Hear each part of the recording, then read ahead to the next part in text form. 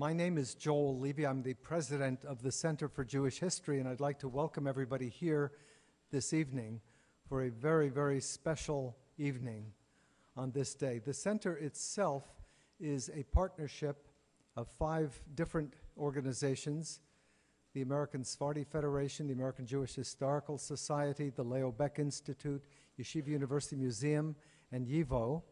All of these organizations have tremendous collections, the largest Jewish archive outside of the National Library in Israel of Jewish history.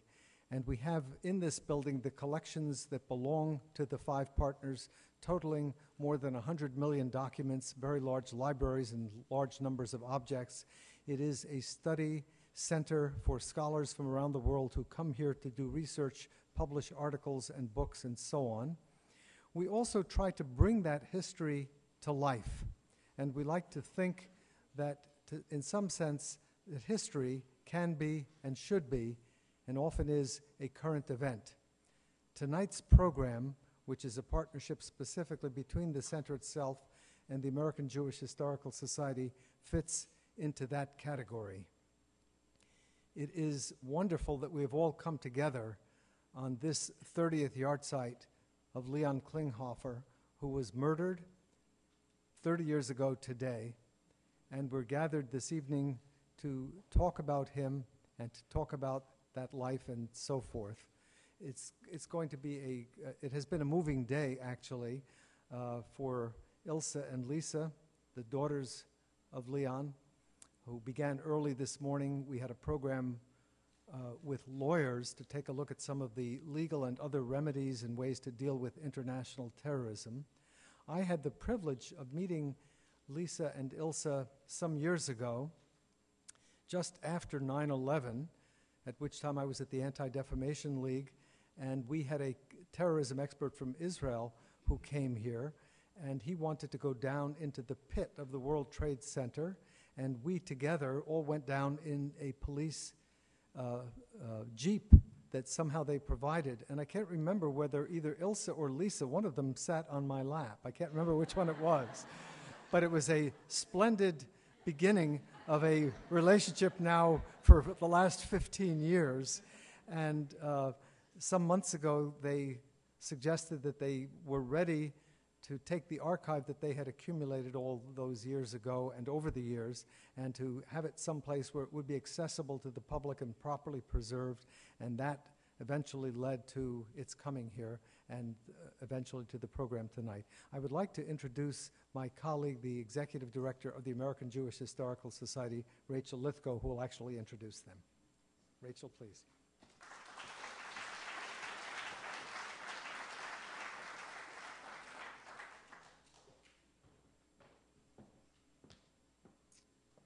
Good evening and welcome. Uh, apologies for the snafu with the tickets. Ilsa and Lisa are very popular. What can I say? But thank you all for your patience and understanding, and thank you for being here. Uh, my name is Rachel Lithgow. I'm the director of the American Jewish Historical Society. It's a real pleasure to welcome you all here. Um, the American Jewish Historical Society is one of five partners here at the center, together with our friends at Leo Baeck, Yeshiva University Museum, American Sephardi Federation, YIVO Institute for Jewish Research, uh, we collect and archive and present the uniquely American story of uh, American Jewish history. That's what we do here at AJHS. Uh, we have collected the most important Jewish American organizations in history, including Hadassah, uh, the American Jewish Council and Congress, the Jewish Welfare Board, Michal Movement, the Hebrew Orphans Asylum, the Archive of the American Soviet Jewry Movement, and I'm very proud to publicly announce for the first time as of last week, Thursday, HIAS, it, it, it was an exciting day, I confess. Uh, thank you. Uh, our archives encompass close to 30 million documents, photographs, artifacts, and ephemera from the 16th century to the present day. We are the future of the American Jewish past. Tonight we have an evening in two parts. I ask that you refer to your programs for full bios of our evening's participants, but let me set up what you're going to see. And after this very short setup, I'm going to introduce the man who made this evening possible, Jonathan Leader. Tonight, for the first time publicly, Ilsa and Lisa Klinghoffer will tell you how 30 years ago today, their lives were forever changed by a horrific event. They will share with you private recollections, memories of their parents, and their own stories about the Achille Lauro hijacking and the events that followed. After they speak, I'll be back to introduce a truly blue ribbon panel. For the rest of the evening, our panel will talk about where history and historic events like the one we are commemorating this evening collide with culture in and around American society and what that means for artists and audiences. You will hear and see samples of how different mediums co opt history to create art and hear directly from acclaimed artists about their processes for working in this very difficult arena. Our panel's moderator, Justin Davidson, will take questions you've already written on cards throughout the evening. There will be staff from the center collecting the cards uh, up and down the aisles throughout the evening. Please hand them off if you think you have a question for our panelists or for Ilsa and Lisa later. Uh, after the program, we invite you to join us in the Steinberg Great Hall for a reception. And finally, before I introduce uh, Jonathan and before Ilsa and Lisa take the stage, I want to thank my friends and colleagues at the Center for Jewish History, especially Joel Levy, uh, whose long and personal relationship, with which he just shared a bit, uh, with Ilsa and Lisa uh, led to tonight's very special event. And I want to thank my staff and the Center for Jewish History staff for really pulling together and working so hard for tonight. Um, the establishment of the Klinghoffer Archive at the American Jewish Historical Society, which comprises letters, poems, songs, articles, photographs, and all the important papers associated with the hijacking of the Achille Lauro and the murder of Leon Klinghoffer, will allow future generations to study and research this important historical event.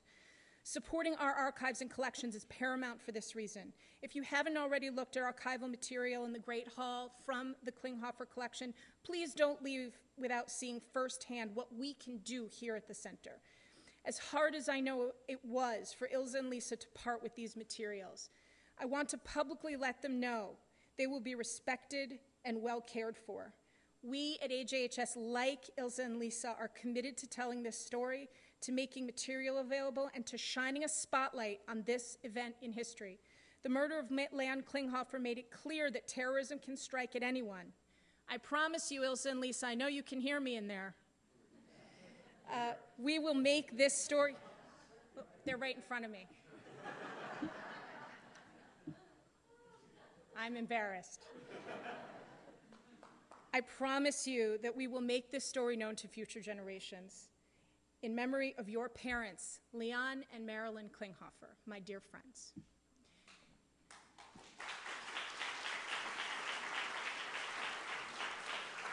I'm going to introduce uh, the sponsor for this evening's event, Jonathan Leader, and then we'll present a very short film, and then Ilsa and Lisa will take the stage. Jonathan, please.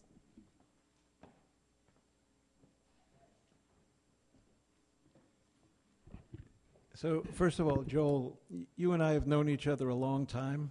You've never asked me to sit on your lap. I, I,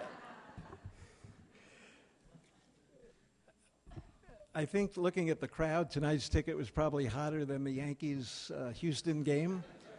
But I can guarantee the outcome tonight will be a lot better than the other night.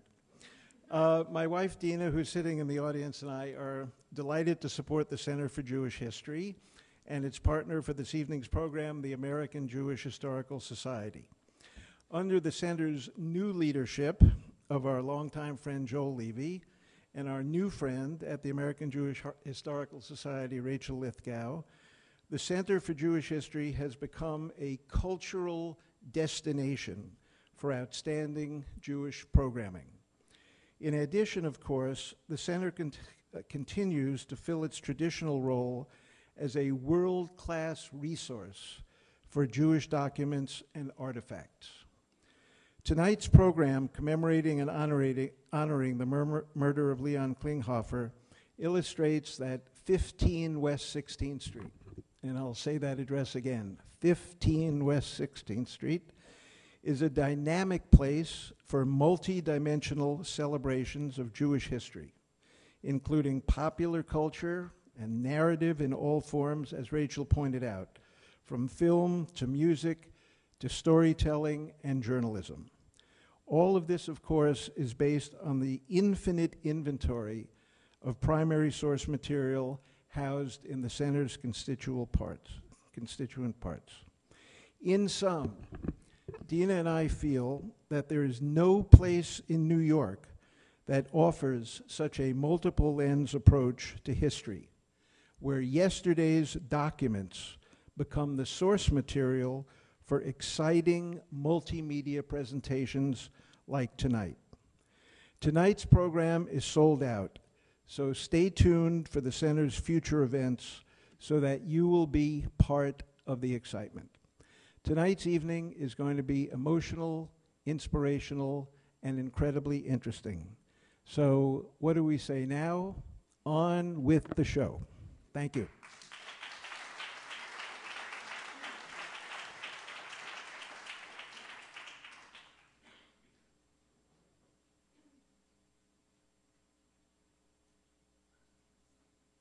The Achille Lauro is the latest target of international terrorism, seized in the Mediterranean Sea like the piracy of earlier centuries, but with nothing romantic about this chilling affair. These are some of the lucky passengers. A total of almost 750, including about 80 Americans, were on the cruise from Italy to Egypt, scheduled to go on to Israel, Cyprus, and Greece. These passengers got off in Egypt for some touring. That left 119 on board with over 300 crew members. A rescue mission would be dangerous but possible. British commandos parachuted onto the Queen Elizabeth II in 1972 when there was a bomb scare in the middle of the Atlantic. Perhaps 12 Palestinian pirates seized the Achille Lauro. From News Center 7, tonight's Newsbreak is brought to you by Kroger.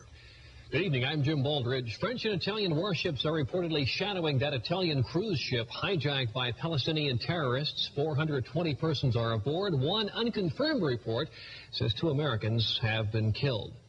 The murder of a 69 year old disabled passenger from New York City angers America.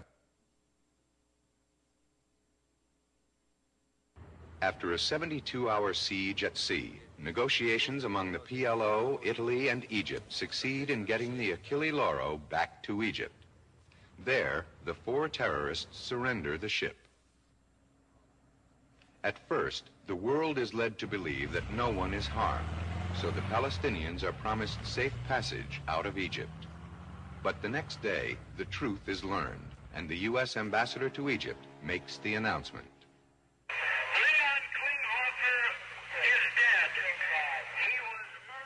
The murder of a 69-year-old disabled passenger from New York City angers America. Americans are outraged when the terrorists are allowed to escape on an Egyptian plane to safe territory in Tunisia. Uh, this time, Reagan takes action. we pursue this. What we want is justice done. In a flawless execution, U.S. Navy F-14 fighter jets intercept the Egyptian airliner in midair and force it to land at a U.S. base in Sicily. These young Americans sent a message to terrorists everywhere. The message, you can run, but you can't hide. Italian courts convict the Palestinian hijackers. But again, the Reagan administration and the public are left dismayed when Italian authorities grant freedom to Abu Abbas, the man believed to be the brains behind the hijacking. Italian courts had found no direct evidence of his involvement. Terrorists, hostages, demands. Anybody who tries to stop us will be killed. The civilized world was fed up. America was ready. Force them down, now. They tried to run. They couldn't hide. A world premiere event based on the actual incident. Filmed where it actually happened. Voyage of Terror. The Voyage begins Tuesday at 8 on Channel 11. Yes, Colonel, I think we've got the break we've been looking for. We've intercepted a conversation from Cairo between the Egyptian foreign minister and one of his aides. The four Achille Lauro hijackers and their leader, Abu Abbas, are still in Egyptian territory despite official declarations to the contrary. They're leaving Cairo at 2200 hours tonight, local time, on an Egypt Air common carrier passenger plane.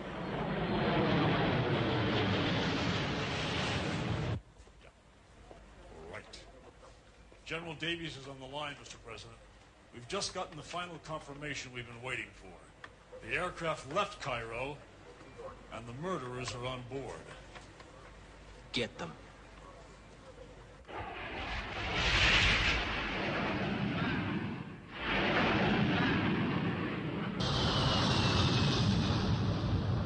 Yesterday, I was at my son's school in a PTA meeting, and uh, a good friend of mine came running up to me and said, Did you hear the news? They got him, they got him. And I said, They got Saddam? She said, No. I bin Laden? No. She said, They got Abbas. I don't want to see that happen. I mean, I think this is the moment to take a stand and make it, you know, this, is, this isn't just personal. I mean, it's personal for our family, but there's a broader picture here. It's terrorism, and it's staring us all in the face every day of the week, every hour of the day. And I think the toughest, the toughest sentence that he can get in this country would make us feel that some kind of justice has been, uh, has happened. And furthermore, all of these years and before the death of our father, he has been he has been training terrorists. He's been funneling money to different countries to help with the training, to help out families whose children um, or, or any family member suicide commit suicide bombings. So, I mean, in the bigger scheme, to have him put in a place, a secure place for the rest of his life, will save umpteen number of lives going forward. I, I also wanted to add that yes, I do think that our father's murder was kind of a milestone in the whole era of terrorism. And at that point, it was sort of an alert, definitely to Americans, that doesn't matter where you are, that you can be a victim. And we don't want him to just to slip through the cracks again.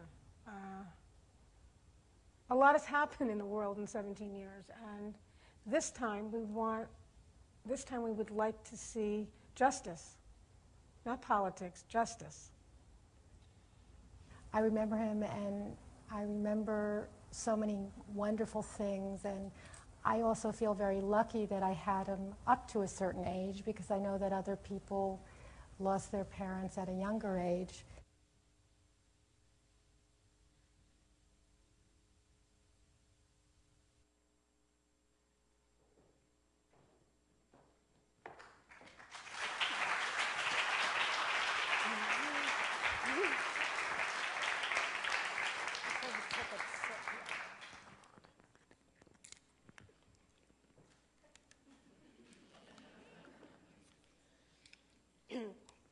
Can you hear me? Yes. well, I first want to thank you all for coming tonight. It means so much to us. And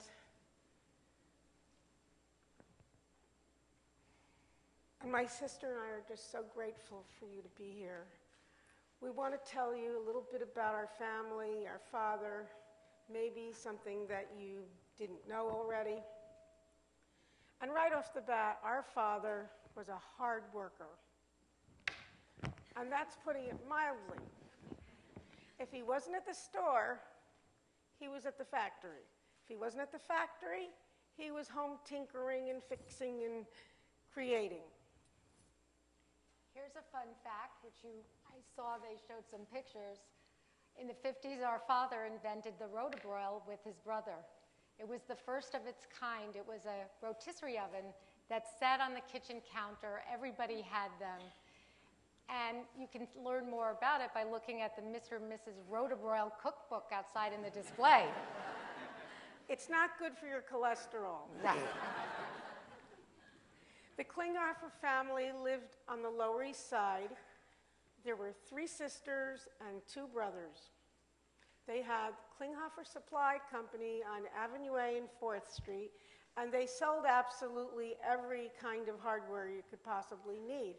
And we were lucky because we got our first jobs sorting nails, putting stocking the shelves, shoveling snow, whatever they want us, wanted us to do, we did. It was our first jobs, and we were so grateful. And another thing is that our father wanted to try to help whoever he could, and if you came into the store and you didn't have enough money to pay for the, the, the item, he'd say, ah, just take it, you'll pay me later.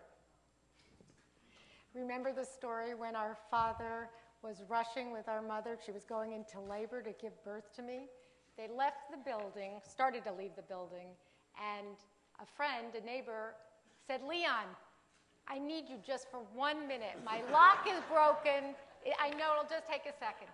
He turned to our mother. He said, Sit down and don't move. How could, how could she move? She was in labor. Well, he fixed the locks. They got to the hospital, and the rest is history because I'm here. but, but, they hoped for a boy, and we always say how sad it is because now they have two beautiful grandsons, Max and Michael, whom they would have adored. They would have loved them. Our mother was also a really hard worker. She worked at Gralla Publications and she was in human resources. She put in a full day of work. She'd come home, we'd have dinner, and she was back on the phone conducting interviews that she couldn't complete during the day, working all the time. But what was really incredible were the letters that she received from the people she didn't even hire. It was amazing. She'd get the letters that say, Thank you so much for your guidance, your counsel.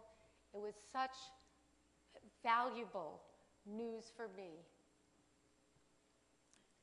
That was our mother. She was incredibly special. they were both workaholics, that's for sure, but family came first, always. And we had a tradition every Friday night, we had a Shabbat dinner, and it was something we could count on. And every week, my mother would cook a beautiful dinner. When I say cook, I mean assemble. because she didn't cook, we don't cook. So Klinghofers just don't cook. But we had a wonderful dinner, and it, it was times that we'll always remember. But Saturday night, that was their night. They got all dolled up and they went out no matter what. It was, they were so glamorous, we couldn't stop looking at them. Um, after our father had his second stroke, our mother was committed to doing everything she could to keep life as normal as possible for them even to the point when she herself was diagnosed at age 57 with aggressive colon cancer, she refused any treatment that would keep her away from our father, even for a single night. Our parents were unbeatable hosts. They had parties, celebrations, because my mother's mantra was you have to celebrate the happy times because in life there certainly are enough unhappy ones. And they certainly did. They had parties, they invited everybody. And even at the last minute, uh, if, if a person had, didn't have a place to go, a friend of mine or my sisters, they'd say, bring them in. And if they didn't have enough food, my mother would walk around and say, FHB which meant family hold back. and we did. and she always had enough food. In 1974, a wonderful thing happened. They discovered the Jersey Shore. Every weekend, rain or shine, or snow or sleet, they went to Long Branch. It was wonderful, and that's where they made a group of lifelong friendships. They did everything together. They dined out, they had parties, they traveled together. Many of their, we, we would call this group of people the beach people, and many of their children are here tonight. And you know what we call them? We call them the beach people, the sequel.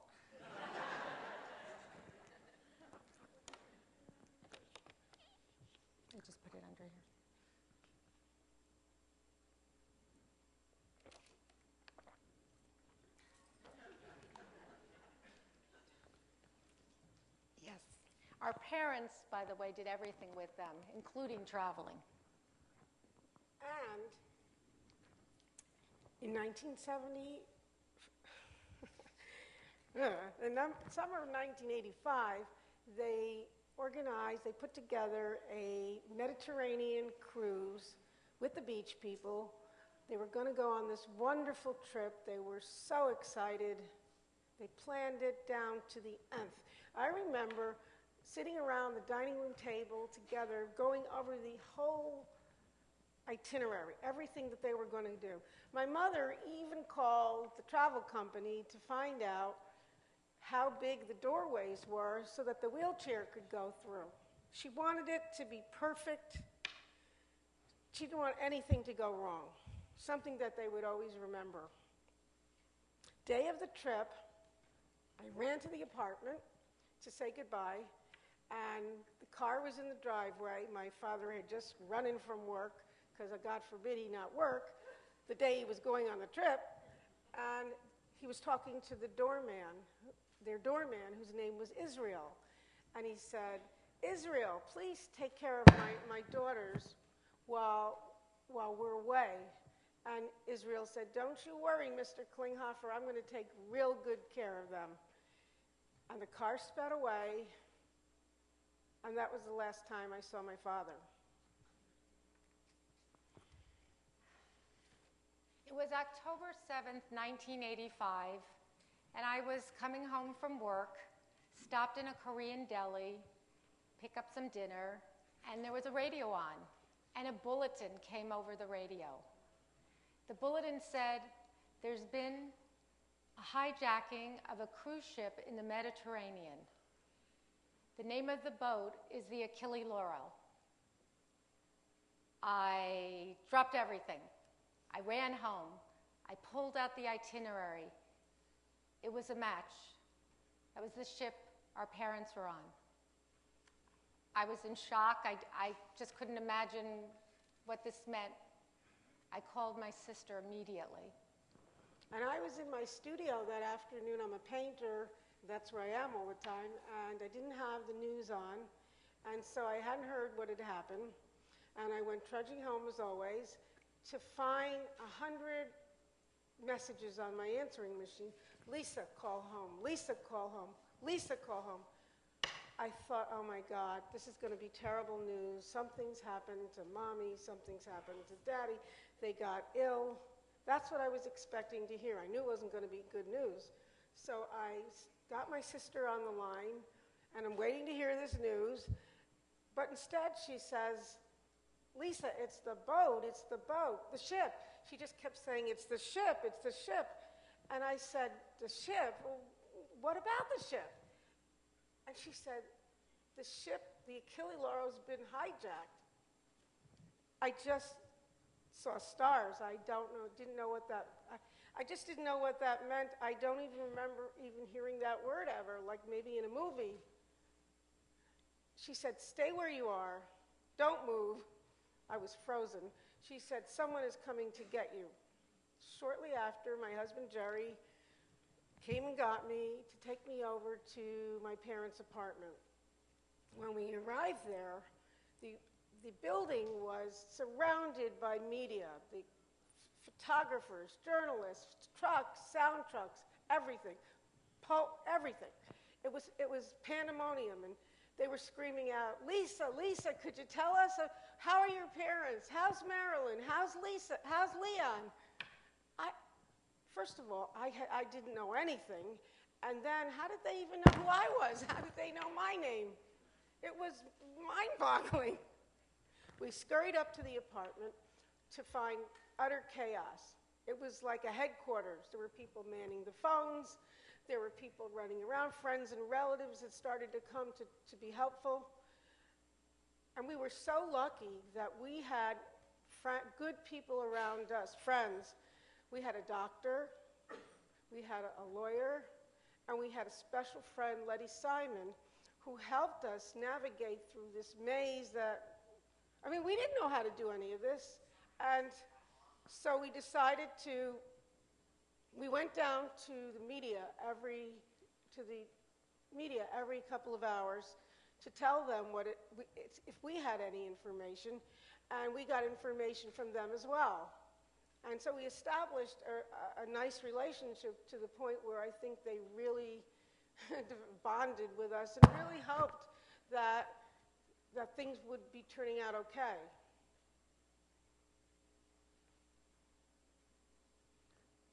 We still actually, though, didn't know who actually was on the ship. Uh, we, we were still hoping that our parents at the last minute had decided to take the trip. But in our hearts, what, you know, we, we knew yeah. they were on the, we knew it was them. And shortly thereafter, uh, we got the call from the State Department telling us that it was them. One of the things we were told was that if we spoke publicly, the hijackers might show some compassion. So let, this good friend Letty of ours set up a whirlwind go to half a dozen news programs and tell our story. We were in the car, out of the car, hair, makeup, on air, back in the car, out of the car, next one, next one. We just pushed through it. We didn't even have time to be nervous like tonight, which was probably a good thing. We just pushed through and did that whole thing. And what was so wonderful was that everybody at the news stations were rooting for us. They were just so nice and praying for a good outcome. So this was followed by two excruciating days waiting for any piece of news that we could get. You, you just can't imagine how anxious we were. We just couldn't imagine what was going on. Finally, we received the call from the State Department. The hijacking was over. They told us no one was hurt. Oh my gosh, we were, we had a lift, we were, started a party, we had champagne. champagne, it was a great old party. It was, we couldn't imagine what the stories would be that our parents were going to tell us. I mean, this is the way it should end, happy, right?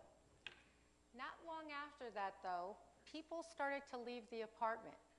And we couldn't understand why. They weren't even saying goodbye. They didn't say goodbye to us. I mean, our friends and relatives, they just left.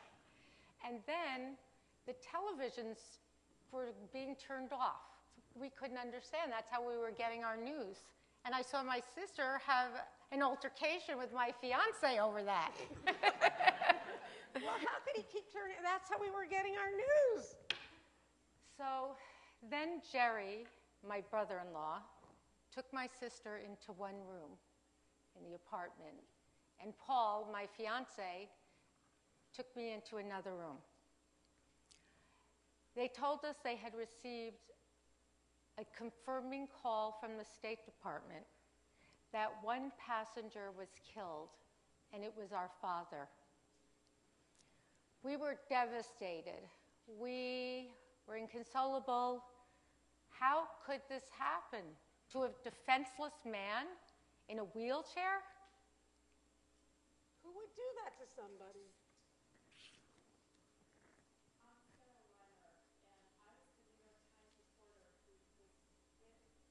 And Ilsa and.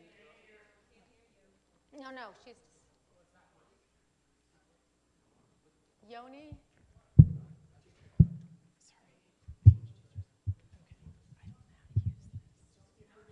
Okay, okay. Yeah. Can, okay, I'm Sara Rimer. I was the New York Times reporter who was with Ilsa and Lisa and their family. I'm, I'm more used to writing than talking, so let me know if you can't hear me. on, that, on that awful day. And I was, uh, had been at the Times maybe one or two years. I was a general assignment reporter on the city desk, and that means every day, you know, they just throw something at you. So the day before, somebody had said, go down to this apartment on East 10th Street. This, something's, this ship's been hijacked. Their, their father is on the ship. So I ran down there, and there was a press conference outside the apartment. And afterward, Letty Simon, their family friend, came up to me and said, Why don't you come upstairs? And that is when I began to learn about the power of the New York Times. But as soon as I got into the apartment and met Ilsa and Lisa and Jerry and Paul, I just, I immediately um, related to them. And, I, and I, I think so many people did. I just connected with them. Um, my parents had a great marriage. They were a little bit younger. I have sisters. And um, it, sort, it sort of seemed like things were going to work out. So I, and they told me all about their parents and the beach people. They did not tell me about the roto broiler, which is a detail a reporter would kill for. So the first day's story was, you know, just this that they were part of this group, the beach people and the family, and how close they were, and how close the parents were. And it ran on the front page, and I, I think people just kind of fell in love with the Klinghoffers. And um, so then the next day, I went back, and um, it just, you know, it seemed like this is going to be a great, a, a happy story, a celebration. I remember the champagne. I think I remember you raising the glasses. I remember that they were such a wonderful family that they, they I think they insisted that I have a glass of champagne, and you know, you're a reporter, you're supposed to be in the background. And, um, you know, I was probably thinking, how much do I need before I can file this great, happy story? And then I remember Jerry and Paul made, sort of something was happening, and I think one of you came over to me and said, We got this terrible news. I remember them taking Ilsa and Lisa into the bedrooms, and I, I wasn't going to say this part, but I, I, mentioned it to them, and I, Lisa said, "Say this." I just, I, I, I've never heard the sound of that kind of grief before or since. It, it was terrible. It was so heartbreaking, and um, I, I, and I really wanted to leave. I felt I should not be here. This is, a, this is an invasion of the most private kind of grief and suffering. And you know, we didn't have cell phones there, so I, I, I, must have gone into another room and called the deputy foreign editor, and I think I said, I, I really think I should leave, and of course he said, you should stay. but then the family, to my astonishment, made it very clear that they, they wanted me there. I mean, they, they, they wanted a witness, and so I stayed, and I remember the, the, the apartment just filling up as the hours went on with these amazing friends, the beach people, relatives, and I don't usually read from my own stories, but there were, there were two quotes when I read this over that just seemed like they embody this family. So the grandmother, Rose, came, Marilyn's mother, and she was just, uh, to me, the epitome of, of grace and stoicism. She'd been through it all. And she went into the bedrooms and spoke to Lisa and Ilsa, who I, they never came out again that day. And she came out and she said, I'm strong. You know how you get strong? You meet each situation as it comes. Over a lifetime, all these situations add up, one after the other, and then you're strong and old. And then um, a cousin, Susie Weiss, said something else that just seems so true of them. There was so much happiness and so much sorrow in this apartment, said Susie Weiss, a cousin of Marilyn Klinghoffer. So many good times. When they gave a party, they gave a party. And when they made friends, they made them for life. And, and just seeing them and their family and their sons and talking with them, it, it, it, it just seems never more true than it is today. So thank you for inviting me. I'm, I'm honored to be here.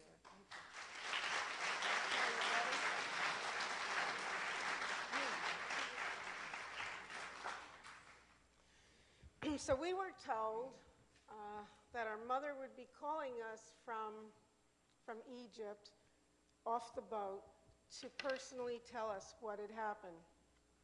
And of course, we knew already. So shortly thereafter, we get the call. Our mother's on the other line, and she says, Girls, girls, I have something I have to tell you. And then there, she just couldn't, I guess she just couldn't find the words. How do you tell us this? And we knew that, so we tried to make it easy for her. And we, easier for her, and we said, Mom, we know. And she said, You know? How could you know? What do you know? I said, Mom, we know. And she said, You can't, you. I said, Mom, we know that we know about Daddy. There was a long pause. She took a breath and she said, Okay, girls, your father was a hero. Do your crying now because I've done mine. And when I come home, we have a lot of work to do. We got our orders. And, by the way, could you do me a favor and call my boss, Milt Brala, and tell him that I'm not going to be into work for a few days? and I said, Well, Mom, Milt is standing right next to me. You can tell him yourself. Milt is there. How does Milt know? Uh, what do you mean Milt's there? And I said, Mom, every, how does he know? I said, Mom, everybody knows. She just had no idea. I said, The world knows what happened to Daddy. When our mother returned home, she was so weak and ill, and she could barely stand up. But somehow she summoned the strength to come out, perch herself on this blue velvet couch that we had. She reclined there in a satin robe. I can remember this so vividly. And she met people who wanted to come and pay a visit, make a condolence call. She summoned some kind of inner strength to meet with them. Afterwards, she'd collapse with exhaustion. We were astonished at how she did this in her condition. We really never asked her how she did it. We just watched and saw her, saw, we just saw how she did it. You know, every time the bell would ring, we never know, knew who would be on the other side. There was Simon Wiesenthal, there was Bibi Netanyahu, there was Mayor Koch. It went like that for days. They wanted to talk, to hear the story. My mother told it over and over and over again. She even met with President and Nancy Reagan. She met them at the Waldorf Astoria. I remember she put on her best suit. She looked so regal. She was stunning, simply stunning.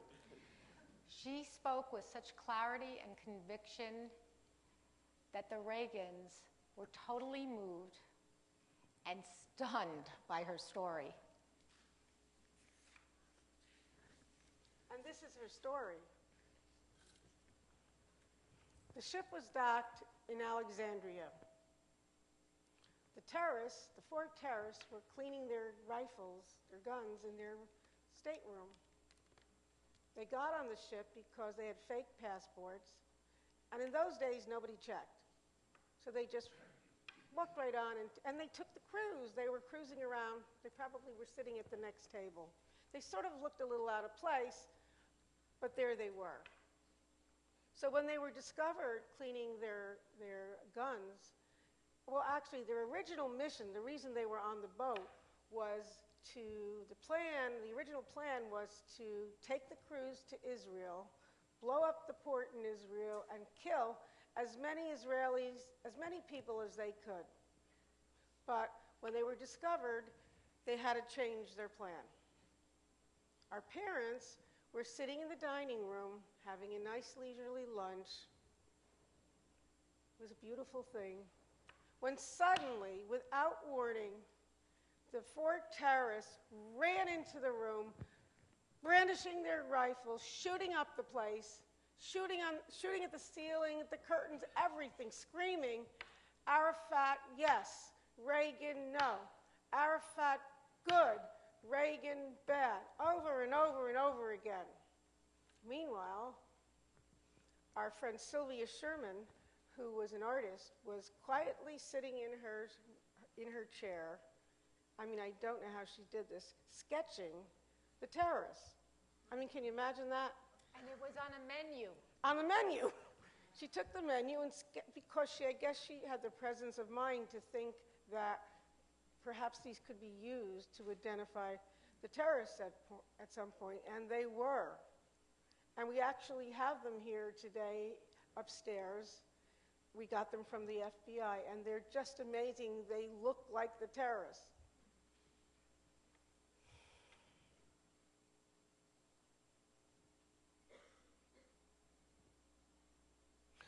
So, in continu- continuation, they separated the Jewish Americans from the others. And they started moving them through the boat. My mother was holding on to the chair, gripping my father's chair, trying to keep up, pushing him forward. I mean, she wasn't that strong, but she had to keep moving. She had to keep pushing. When they got to the stairs to go to up the deck, they wanted them to go to the top deck. I mean, how was she going to do that? So one of the terrorists tapped her on the shoulder and said, You stay, we'll take care of him, pointing to my father. But how could she do that? How could she leave? How could she leave Leon? She never left Leon. She looked back at him and he looked at her, but she had no choice. They pushed her up the steps and they wheeled my father away. And I'm sure I'm not sure if anybody knows this, but when they took the hostages up to the deck, they tortured them. They hit them with their guns over the head, over the feet. They laid in the sun for hours, and then they played these mind games with, with uh, loaded hand grenades, where they would go up to them and pretend like they were going to pull them, as if to say, at any moment we can kill you. Can you imagine that? And we learned later that the reason that they killed our father, the real the reason was because they wanted the world to know that they had no mercy. After the hijacking was over, our mother frantically tore through the ship searching for our father. She was directed to the captain's quarters. Captain DeRosa ushered her in. He said, Mrs. Klinghoffer, there was one fatality, and it was Mr. Klinghoffer. He was shot, thrown overboard with the wheelchair. He said to her, I am so sorry. He went on to say, in order to end the hijacking, I had to tell the State Department that everybody was safe.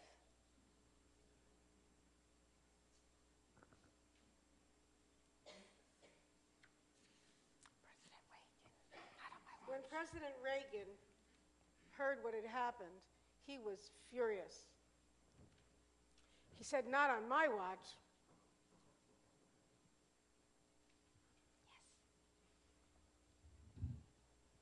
Good evening, ladies and gentlemen.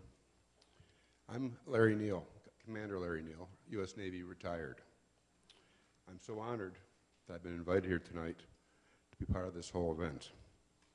But please realize that I am representing many sailors and airmen that participated in the events of October 1985.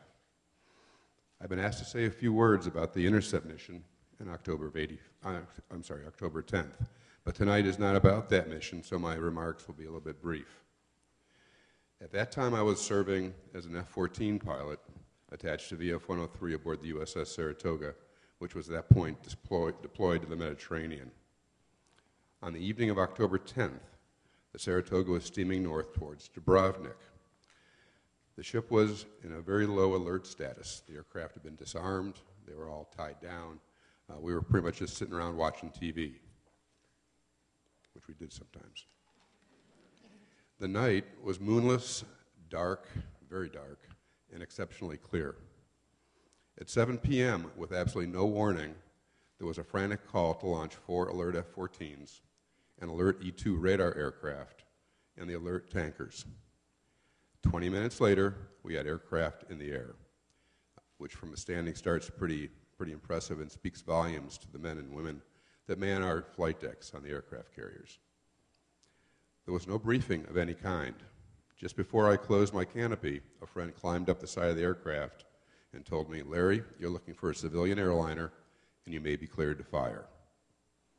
I stopped him and I said, Say that again, very slowly. He said the same way.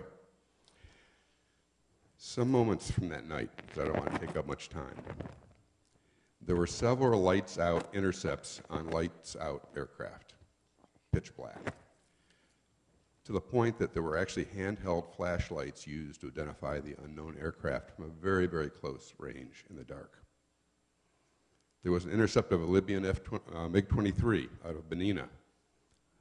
Got into about 35 miles, and then he was changed his mind and went home.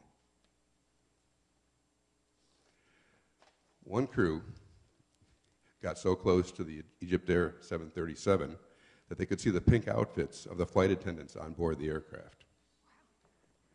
Eventually, we surrounded the 737 with four lights out F 14s.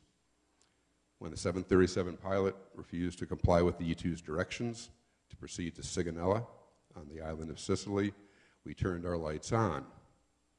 He decided to comply.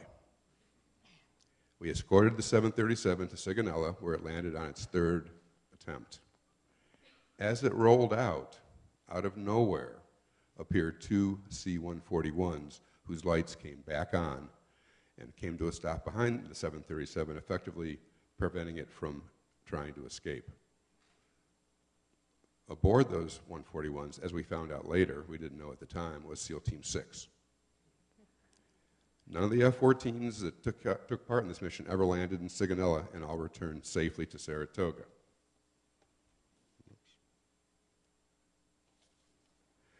We didn't learn of the mission's purpose or its outcome until after landing back on Saratoga. Ship turned north, and we were in Dubrovnik a couple days later, wearing sunglasses and being told to avoid the press. So those are a few moments from that evening in October of 1985, and it was a, a pretty important mission in my life, and it was a mission that, as I look back on it, very few units or very few organizations other than naval aviation could have done successfully. So again, I want to thank you for having me here tonight. I appreciate it, and, uh, and good night to you all.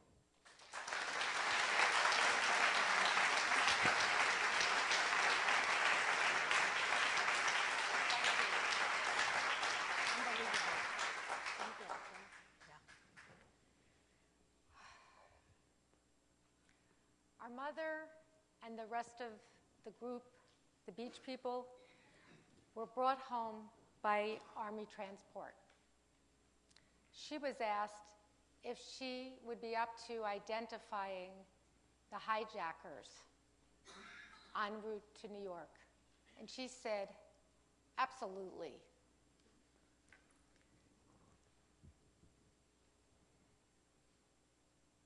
You, murderer! You, murderer! You, murderer! You, murderer! After she identified each hijacker, she spat in each one of their faces. And then a miracle of sorts happened. Our father's body washed up on the shores in Syria, and Syria sent him back to us. And we were so grateful that we could have a body, that we could have, we could bury him, have a funeral, and sit shiva. On October 21st, 1985, we had the funeral for our father. It was attended by thousands of people. It was that day that I learned something very special. Our father's very close, dearest childhood friend, Charlotte Spiegel, gave one of the eulogies. And what she said was Leon had confided in her. She said that he had been practicing walking with his therapist and he wanted to surprise me on my wedding day to walk me down the aisle.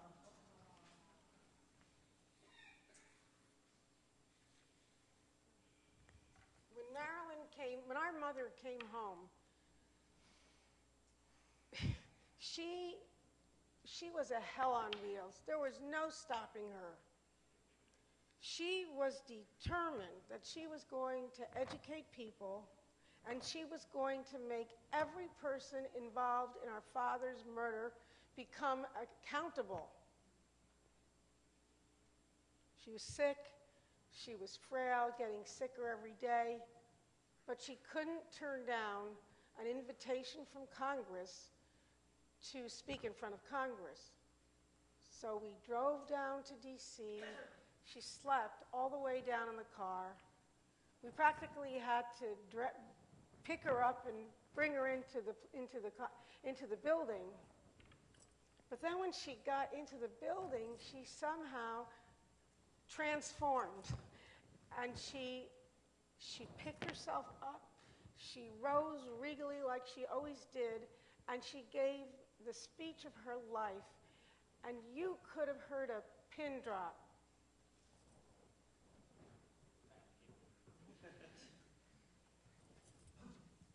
Hi, uh, my name is Max Klinghoffer Dworin. I'm Ilsa's son. Uh, that's Ilsa. Um, and this is my cousin Michael, Leon Klinghoffer Arbitter, and it's Lisa's son. Uh, and we're going to read excerpts uh, from our grandmother Marilyn. Sorry, one second. Is that better? Yeah. Uh, we're going to read excerpts from our grandmother Marilyn's testimony uh, before the U.S. Congress on October 30th, 1985. Uh, but I'm going to go off script for one second before we do that, and just on behalf of me and, and, my cousin, I just I want to say we don't say it enough, but but you two and, and, and this story has uh, just inspired us throughout our lives, uh, and and it's just incredible that you're telling it like this because I've never heard you say it like this, and I know how how how um, hard it is for you to, to relive this, and, and just and it's so great to, to, to hear, and, and, and you're just an inspiration to all of us. Um, And in, in addition, I know there are a lot of people here who are, as you've heard, who are friends and family and, and who knew all of us at that time.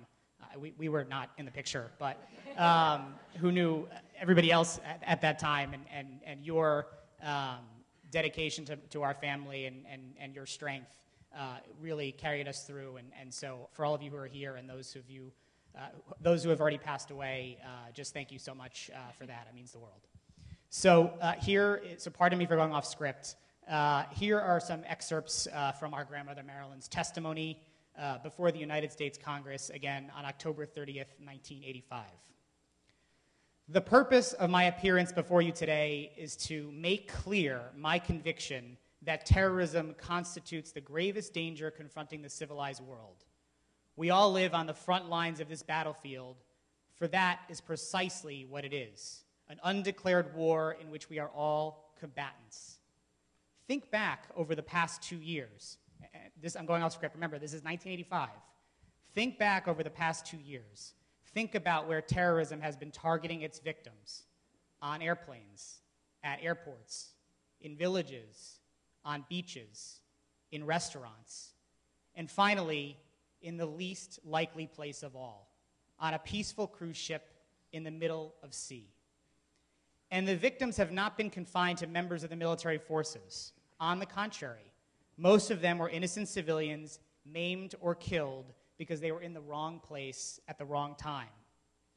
Each person sitting in this room, each member of this committee, each member of this Congress, and all of your constituents are potential victims unless we enlist in a worldwide crusade to eradicate terrorism from our midst.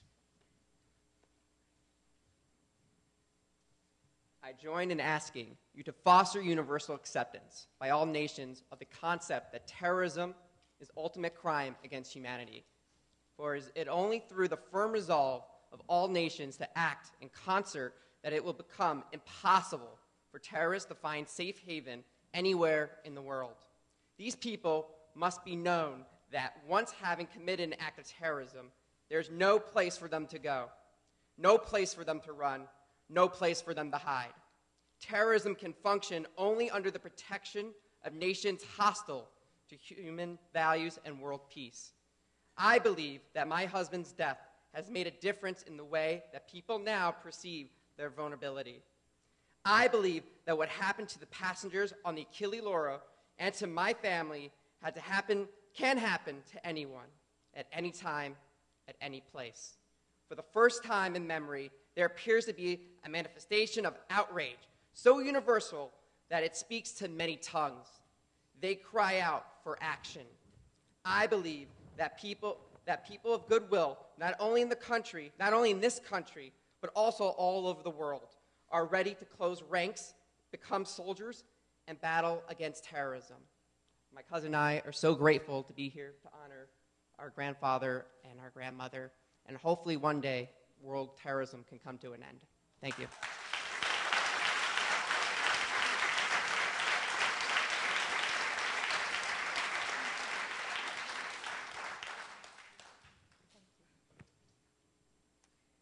Well, we weren't prepared for what came next. One evening, over dinner, our mother made an announcement. She said, Girls, I have something to tell you. She said, I am suing the PLO. She said, Nothing will change my mind. You are either with me or you're not, and I'm hoping you're with me. Well, We were petrified. we were terrified. She said, This is something that I must do for your father. We knew she was determined. She pushed herself back from the table and she walked out of the room. Lisa and I just looked at each other. But we knew and, and we came to understand, and we are so proud of our mother for what she did. Um, her courage, this is something that had never been done before. Her lawsuit set precedent for suing a terrorist organization or a foreign government that was involved in any acts of terror, terrorism against American citizens. Sadly, three months later, our mother died. That was just four months after the hijacking and six weeks before my wedding day. So we had a choice to make. We could either hide under the covers, sit in a closet, suck our thumbs, feel, woe is me, why did this happen to us, feel sorry for ourselves, which we did a little, or we could continue the important work that our mother started. There really wasn't a choice. I mean, we knew exactly what we had to do. Maril- our mother, Marilyn's mission, became our mission to put a face on terrorism so that it wasn't this abstract idea. It happened, it could happen to anyone, it could happen anywhere at any time to a family just like ours. Right now, I have to thank two few special people. I want to thank the Gralla family for starting the Leon Klinghoffer Memorial Foundation. And we would also like to thank so lovingly Abe Foxman and our entire ADL family, some of whom are here today with us, in creating the Leon and Marilyn Klinghoffer Memorial Foundation of the Anti Defamation League. Long word. But we couldn't do this work without them. We've been active in the battle against terrorism for 30 years. And what has meant most to us has been working with law enforcement to bring those responsible for the hijacking of the Achille Lauro and the murder of our father to justice. You can imagine the great satisfaction we had for a few years ago when we watched in a Manhattan courtroom the conviction of a notorious arms dealer, Mansur al Qassar, convicted for selling arms to be used against Americans, including the arms that killed our father. He never thought he'd get convicted. We stared him down. We thought, finally, some justice has been served. When he got convicted, he turned around and looked at us. He knew who we were, and we, as my sister said, we just stared him down. Our government, which pursued this case for years and continues to pursue these kinds of cases, never forgot. And we can't thank them um, enough, excuse me, we can't thank them enough for what they've done. In fact, tonight we have two attorneys from the Southern District Office who were the trial lawyers on the case of Mansour Al-Kassar, Boyd, uh, Boyd Johnson and Brendan McGuire, who we thank from the bottom of our hearts. God, get up, please.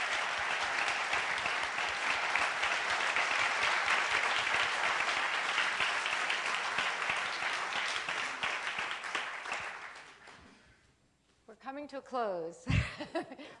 we also just want to give special thanks to Sara Rimer and Larry Neal for sharing their stories this evening. Jennifer Levy. Jennifer Levy and Heather Cartwright are here also today from the Department of Justice. We thank you for your support. We thank all four of you for traveling to be with us this evening. We also want to thank Joel and Rachel and the Leader Family Foundation for supporting this evening and for your support of the Klinghoffer Archive. It means so much to us. It's so comforting to know that all of these documents and materials will be safely preserved here for future study. And we can walk over and visit them. and finally, we want to recognize our husbands, Paul and Jerry, and our sons, Max and Michael, for always being there for us. And lastly,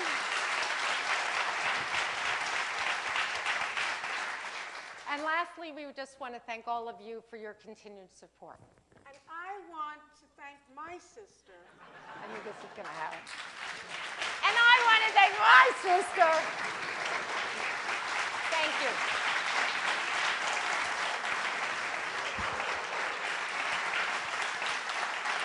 Going to go down there. Just your water. And I want to thank you. I love it. One for you.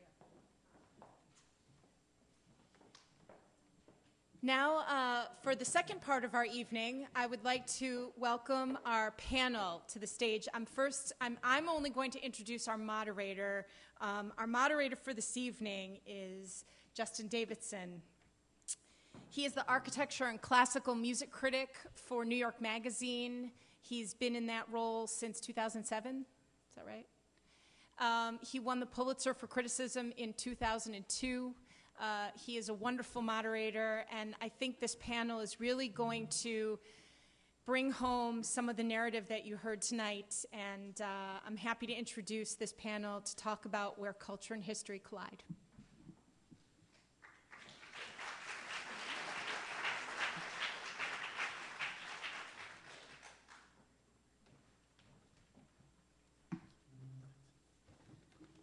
Thank you very much.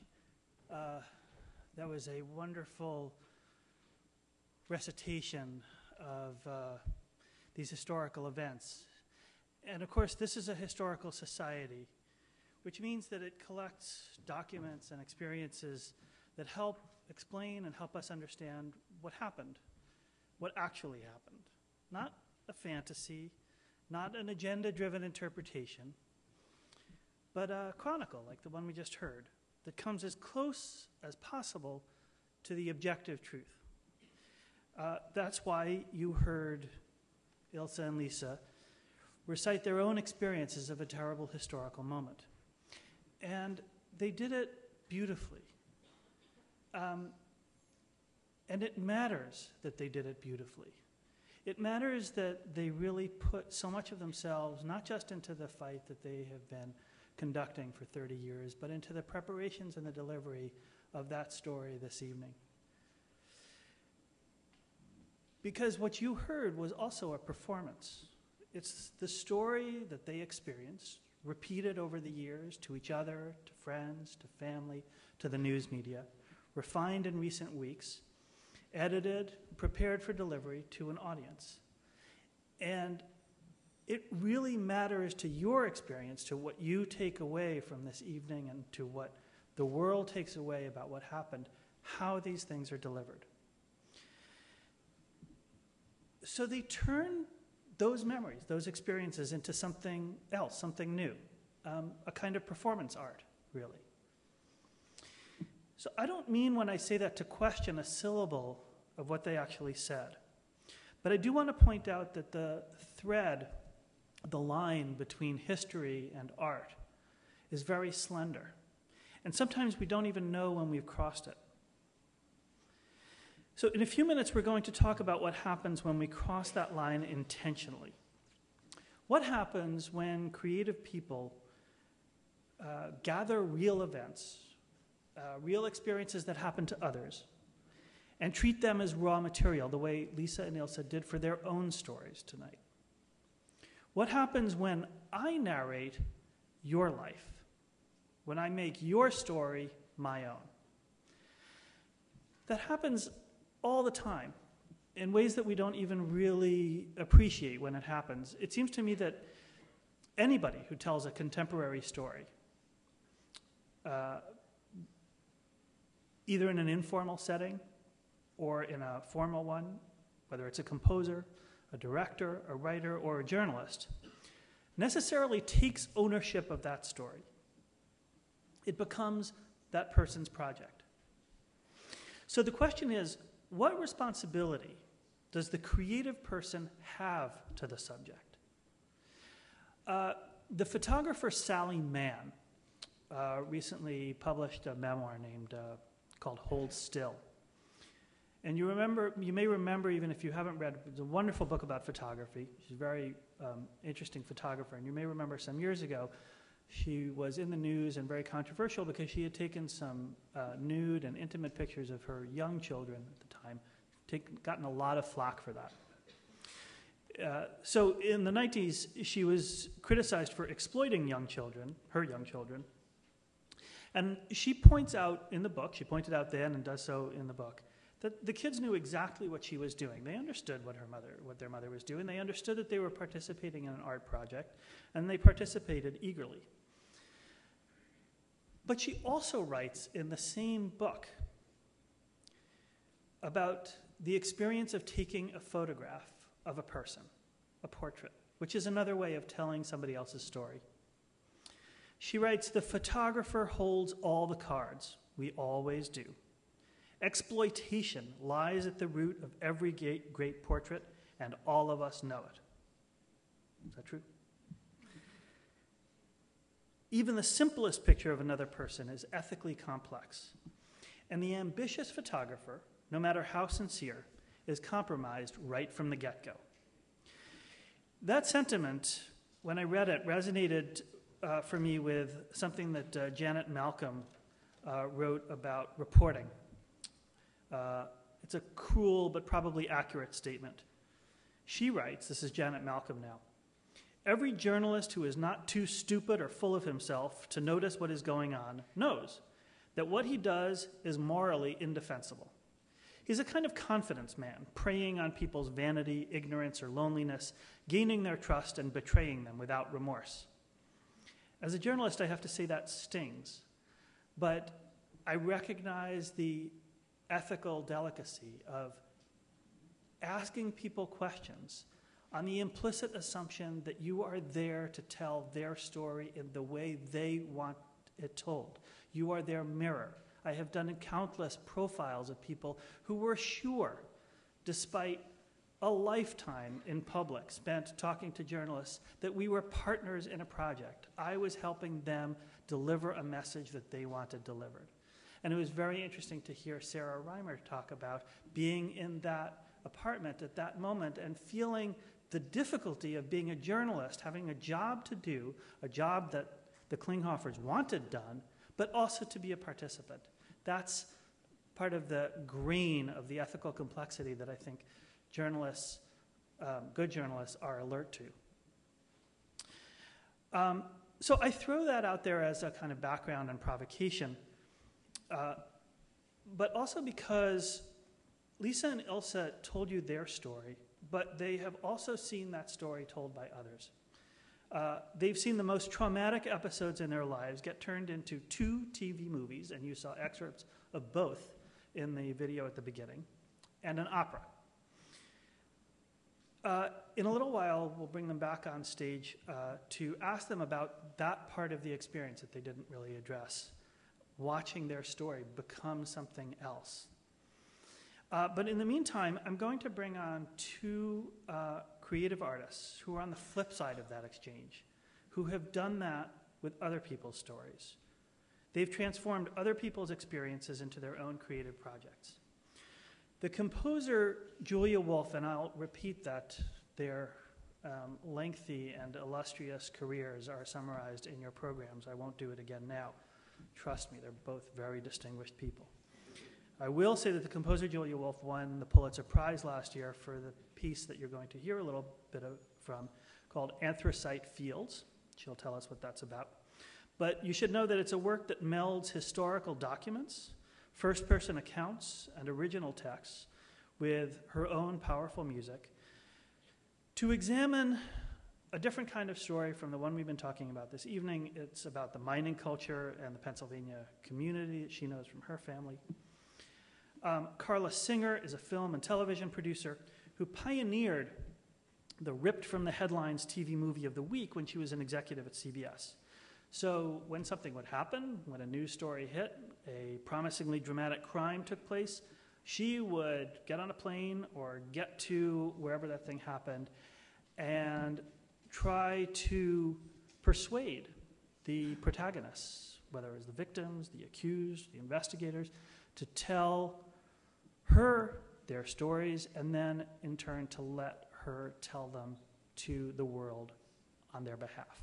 So please welcome Julia Wolfe and Carla Singer.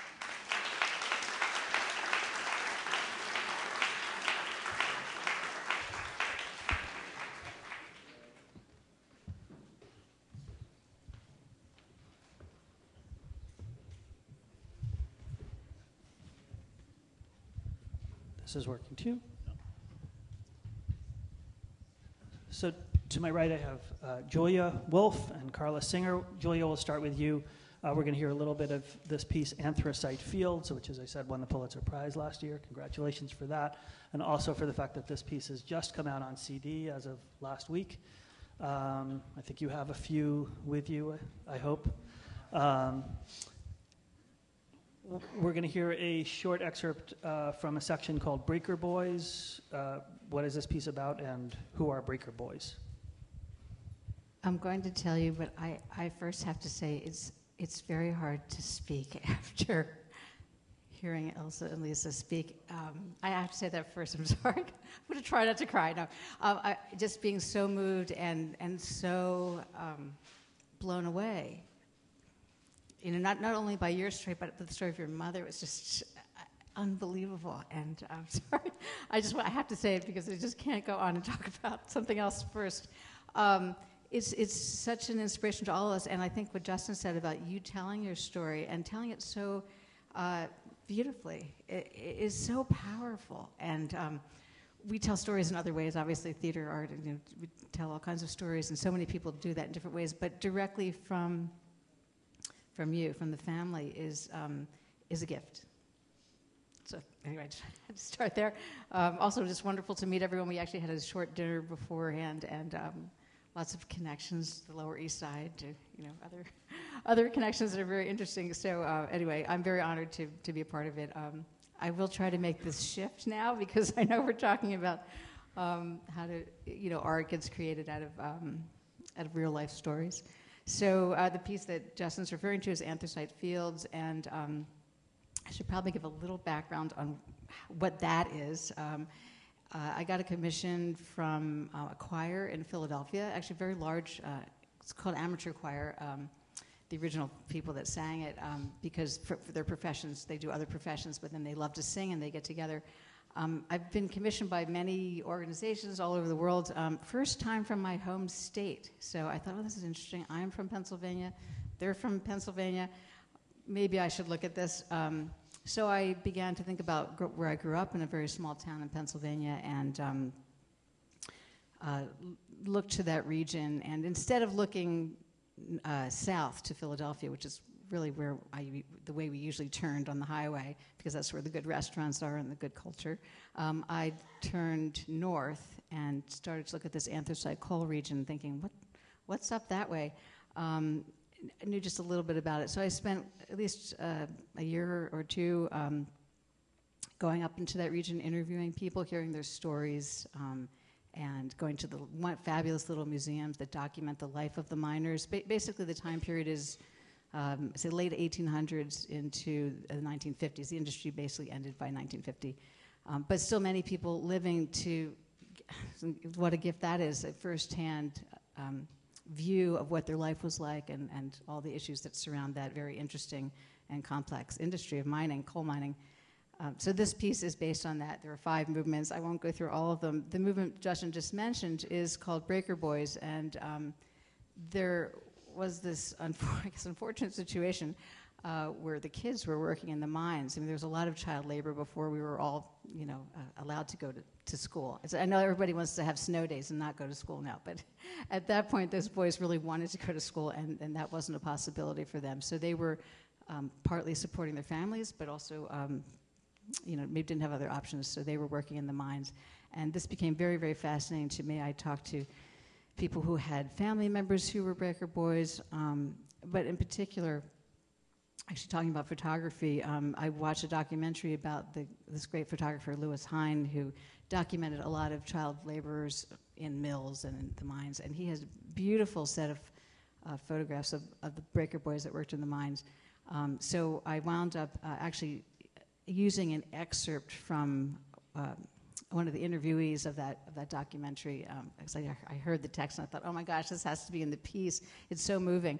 Um, I don't think you're going to hear that in this excerpt, um, but the, this movement is a combination of using rhymes that are from the region. So the main rhyme is Mickey picks slate, early and late. That was the poor little breaker boy's fate. A poor simple woman at the breaker still waits to I think it's to meet up her poor little Mickey picks slate. So Mickey does not come out of the mine.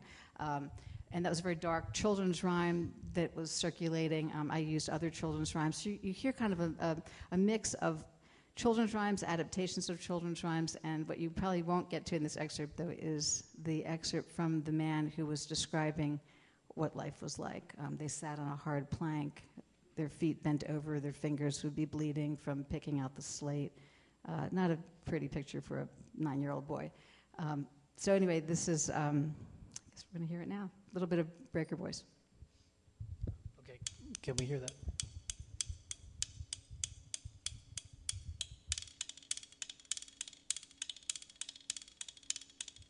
Mickey Big Slate.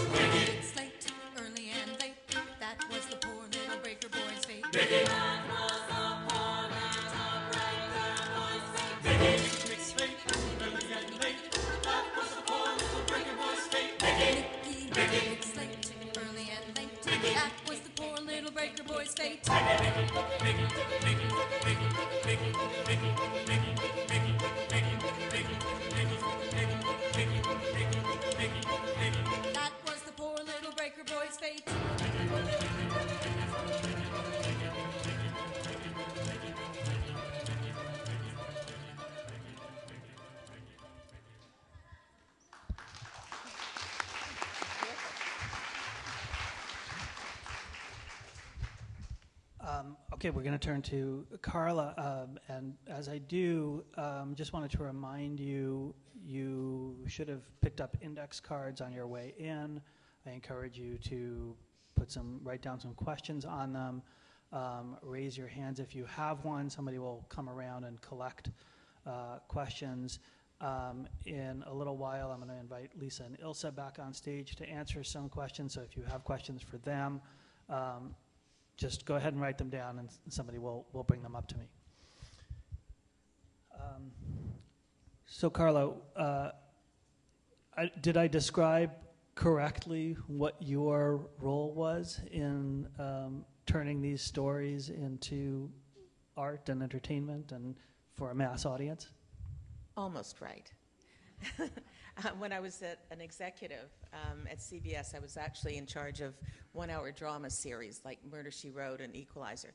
From there, I became an independent producer, and, and I specialize in uh, movies of the week. And ripped from the headlines, yes, I was sort of the queen of some of those early in my career. Um, but listening to you talk about your mother, I was thinking how interesting it is you can use the media to get an issue across um, to a very broad audience. And of course, when that movie was done, I was at CBS 1985, my last year there, and it was the first big movie about terrorism, other than I think there had been a hijacked plane some years before. And my specialty in, in movies of the week, um, for most of the movies that I've done, I've done many of them, um, were based on true stories. And so I personally usually chose and do choose ones that have some broader issue at stake. So it's not just a, a, story that's ripped from the headlines, but why am I telling the story? And when I get the rights to someone's story, what do I want them to feel that they've accomplished by telling it? And I never like to um, tell a true story unless the person whose story it is understands what they're doing. Um, because they're giving up their rights to me in perpetuity to tell the story and they have to live with what's on the on the air. And um, as you saw, your movie was just excerpted here, and it lives beyond beyond um, the the immediate you know uh, airing and or repeat. So you were pretty accurate. Um, so tell us, we're going to see a clip from um, one of the uh, movies that you made. Could you set that up for us and tell us what we're going to see? So, addressing what I've just said, um, the movie that I did was um, one of the early movies on domestic violence, and um, you're going to see an excerpt from it. It's an older one, but it's one that had a lot of ramifications and, um, and accomplished something in a broader arena. It was brought to me by a, a, a journalist who sat in on the trial of a woman who killed her husband, and it was one of the first cases in the country where she used um, self-defense as a battered wife, um, and it and, and the woman who, term, who, who created the term battered wife syndrome uh, was an attorney who testified at her trial. Um, the excerpt you're going to see is a little bit harsh, um, but Jaclyn Smith plays a woman named Donna Yaklich who um, was being beat up by her husband, who was a cop.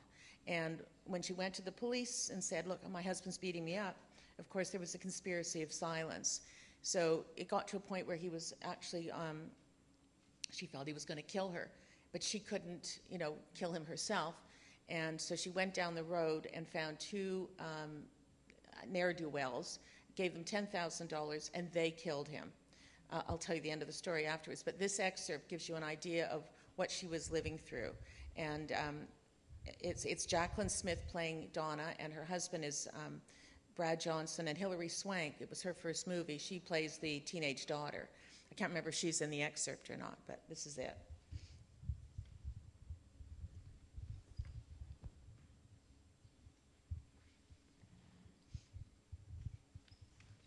You know how bad I want to kill you. Yes, I do. Donna Yaklich, promise to love, honor, and obey. I read about the steroids you take for your weightlifting. They've changed you, Dennis. You're not the sweet man I married. You've got to stop taking the drugs. I don't take drugs. I rush people who take drugs. To cleave only unto him. Baby's crying. Don't worry about the baby. It's good for him. Shut up. I said shut up! It's the steroids. They make him crazy. For richer or poor, I need you to do something. You got it. In sickness I want you to kill Dennis for me. and in hell. Try and understand about the steroids. It's a deal that you make with yourself. When I use them, I can do things that normal men can't do.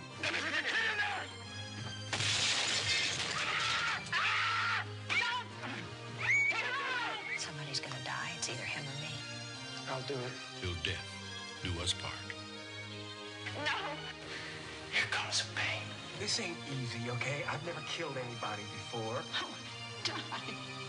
I just want to die. Oh, I want to die. I just want to die. We'll do the world a favor and pull the trigger. This is my brother, Charlie. All right, he's gonna help.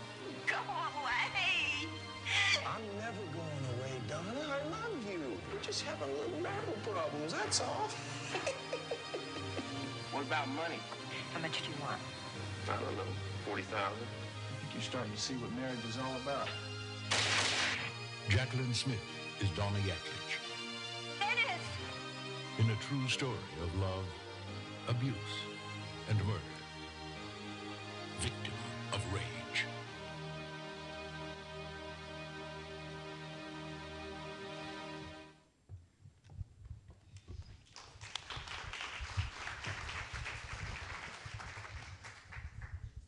So there we have two very different uh, examples of the same phenomenon coming out in two completely different iterations.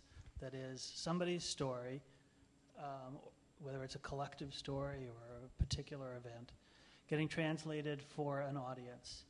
Um, I wanted to ask both of you how present was it in your minds as you were making all of the artistic decisions and creative decisions that went into this that you were the custodians of somebody else's life or somebody else's experiences julia Well, I was very, very aware of it. Um, first of all, it's interesting also, um, as same with the film, to be covering a story that's, um, you know, about about a very different community from your own community. Um, my, my grandmother actually grew up in Scranton, but um, wasn't a coal miner.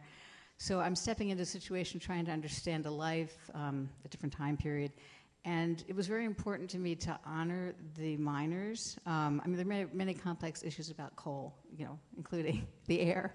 Um, but it, and there is an element that addresses that in the piece. But um, but I really wanted to honor uh, these people who had worked in very dangerous conditions, um, fought very hard for worker safety and compensation, and um, basically we are all living in comfort. That was one of the speeches I used. Actually, it was a, speech made by John L. Lewis, who is the head of the United Mine Workers Union, um, talking to a congressional committee about, again, talking to Congress, um, about that we are all living in comfort while they are living in very, working in very dangerous conditions. So these issues were very much on my mind, um, and also wanting to be very sensitive to the people that I interviewed. Um, really listening, you know, really hearing what, what their stories were. Um, it was one wonderful part, I should say, is that they um, came to the performance. I, I, and I, I get every other day I get a letter from someone who had a father or grandfather who was a miner talking to me about the piece, which is a really wonderful for me, a really wonderful connection to uh, a community, um, not just creating a piece about it, but also interfacing with the people. So that was, uh, for me, a very moving part, but, but certainly conscious um, the whole way through. And because you weren't telling one particular point of view, how did you distill when you did these interviews? Some things must have been seemed relevant even as you were uh, conducting the interviews, and some didn't. How did you distill sort of this massive material into a coherent point of view? It's a very it's a very big subject, and of course, someone else would have written a very different piece about coal mining than I did. Um, I went in just being open, so as I heard things and read things, um, things would jump out, and, and I would be really um, moved by them. Oh, that has to be in the piece. Not not everything got in the piece, um, but uh, you know, one example is I interviewed a woman, Barbara Powell, and she she was actually a, a docent working in the gift shop, and she said, I, I have a story to tell you, and I mean, you know, I'm just in this little historical museum, and we said, great, let's get together, and we put out put down a tape recorder, and she had actually documented a lot of her life um, just on her own, written notes about her you know, extended family that had worked in the mines. But at one moment, she was talking about living in the Patch Town, which is the town that the coal company owns. They, they build the little houses, they, they own the company store, literally. Um, and she didn't feel poor. She said she didn't feel poor, which I thought was interesting because it was a pretty impoverished existence. And at one moment, she said, and we all had flowers. And then she started to name all the flowers. And in this fairly dark subject of coal mining, uh, this was a really luminescent moment um, where you know just the image of the women beautifying their homes with these gardens. And so one movement is simply flowers, and it's just a list of flowers. Um, and that's for Barbara, and she um, she's very happy to have her movement in the piece. I'm sure she is. Um, Carla, same question. You were telling Donna's story in this particular film. Do you always have a specific point of view that informs what you're doing?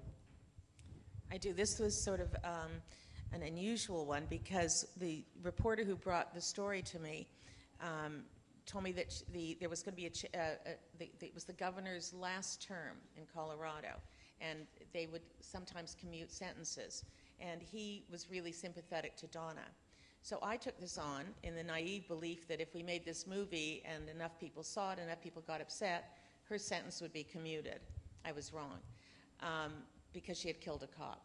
And um, it might have been different if she had killed one of you guys. but um, I meant that facetiously. Um, so in this particular one, I felt very attached to her. Um, and I, under the Son of Sam laws, that I don't know if you know, but you, you can't, you shouldn't pay somebody who's uh, a criminal any money for their story. So I, I, I, she had a son who was still a young person, and her mother was raising her son and her sister. So I bought her story, uh, but I bought her mother's story, and that's how I got money funded to support her child. Um, but I got very, very, very involved in the issue and, um, and tried really hard to get her out of jail. And, and what happened out of this one, which was really interesting, was that for many years, and this movie does very, if you watch Lifetime, it airs ad nauseum. But every time it airs, Donna in prison would get hundreds of letters from women who had been victims. And at the very end of the movie, we did put a, um, a, a, super saying, you know, if, you have, if you're a victim, you can contact somebody. And she would get many, many letters while she was in prison. And I'm just going to jump ahead a little bit, but um, she eventually uh, did her college degree while she was in prison. And it snowballed over the years. And um, her husband had, had said that his prior wife died in a fire. And we all suspected that, in fact, she'd been murdered by him. And nobody would believe it, of course, because he was a cop. And because one of the people who watched this movie in repeats a few years later was a detective from Florida, a woman.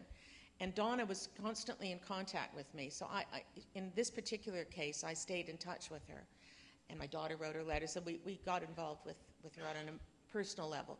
And this one detective saw the movie, and she herself had been a victim of violence, and she became obsessed with the story and flew out on her own money to see Donna in jail, and then met with me afterwards. And one thing led to another. Over a number of years, you know, Oxygen or one of those um, cable channels did a documentary having seen the movie, and it sort of snowballed. People kept saying, well, maybe he did murder the wife, number one. Maybe it was self defense.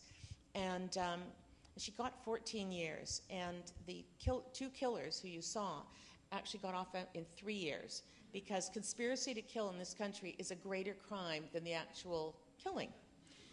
And um, she was a pretty fabulous woman, and I had just moved to New York in 2001. And one morning, my phone rang, and I picked it up. It was like seven in the morning, and this woman said, "Hi, Carla, it's Donna Yaklich. I just want you to know I'm out of jail. I'm in a halfway home."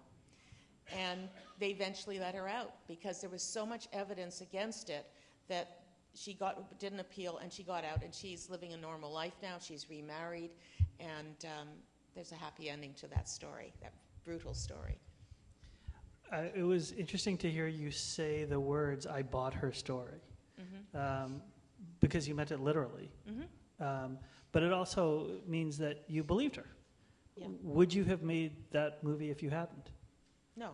So you were you were both. It was interesting. You were both specifically saw your, see yourselves as advocates for the subject matter in some way, for the people whose stories you're.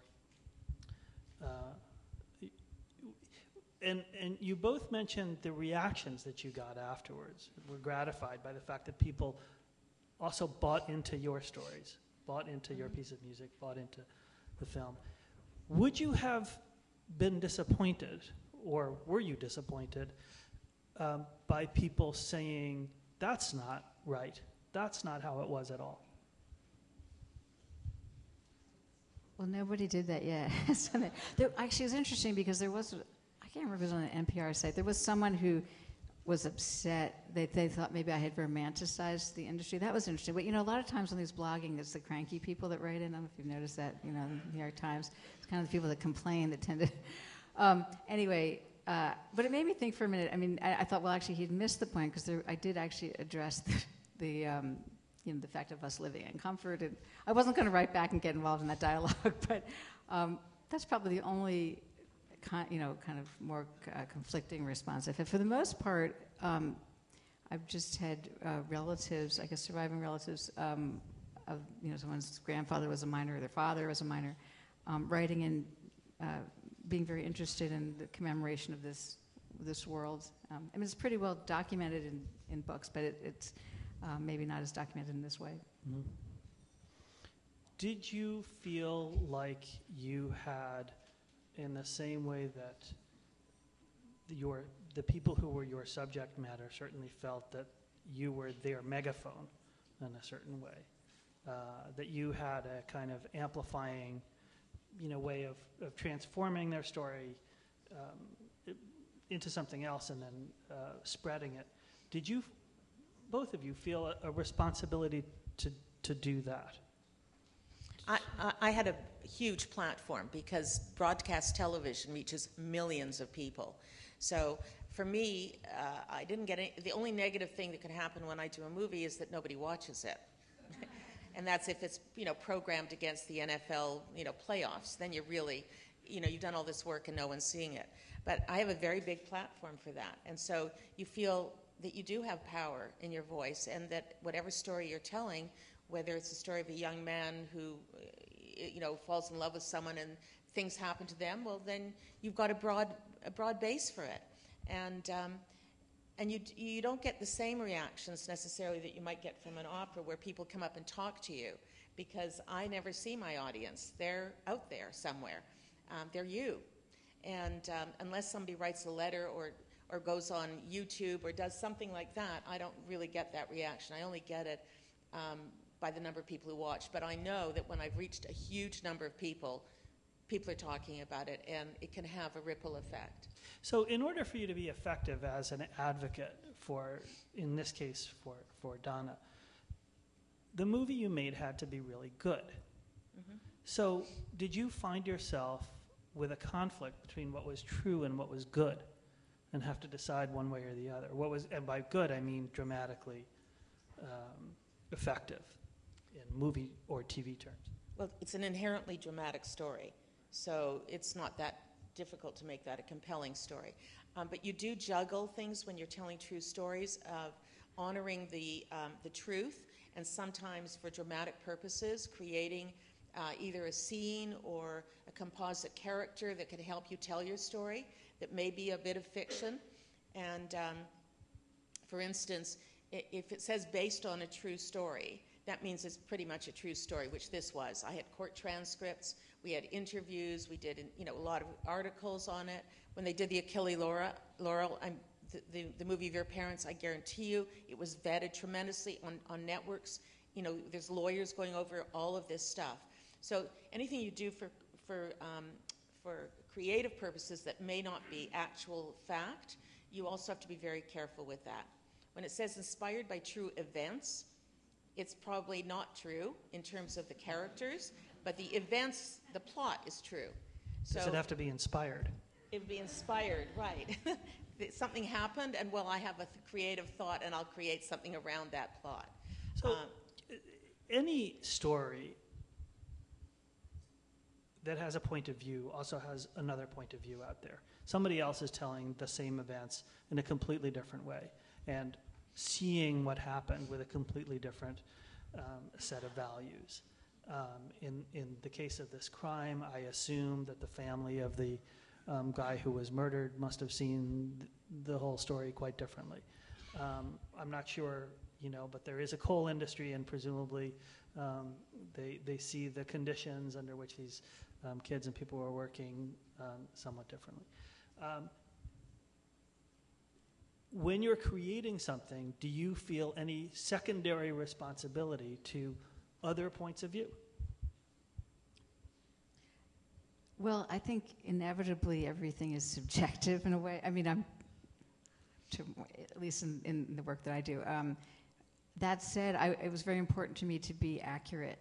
Um, and by accurate, I just mean factually correct. I wouldn't want to put something in that was wrong. Um, but I, it's, it's a kind of a fine line. I mean, one thing that's important to me also is it's, it's a very intelligent audience out there. So I also wanted to make this poetic history, and um, then the, the, audience can put the pieces together. I didn't want to hammer them over the head, like this is you know the evil coal industry or something. You know, I, I really wanted to tell this story, reveal these facts about the kids working in the mines, about the labor issues, um, you know, about something about the life, and um, like it'd be accurate, but then. Uh, let the audience see that. That said, of course, if I'm going to put a speech in by John L. Lewis, saying that we're supposed to be, um, you know, compensating these families for the situation. Obviously, I, a, I, chose that for a reason. I found that very moving. I found it very important.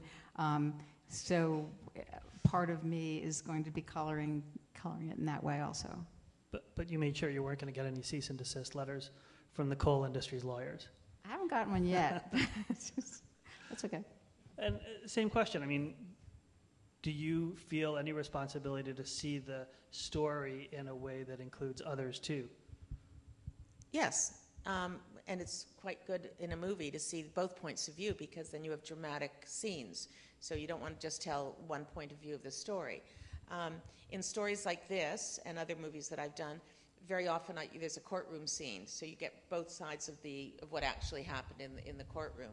In this movie, um, there was a scene with the his, his colleagues in the police force and what they thought, you know, that they thought she should go. She ended up going to jail, so she was convicted. It was trying to defend her, so that was a complicated little dance in that. But yeah, um, yeah, you usually try to show point, other point of view. In the case of the Achille Lauro, you weren't going to do any interviews with the terrorists.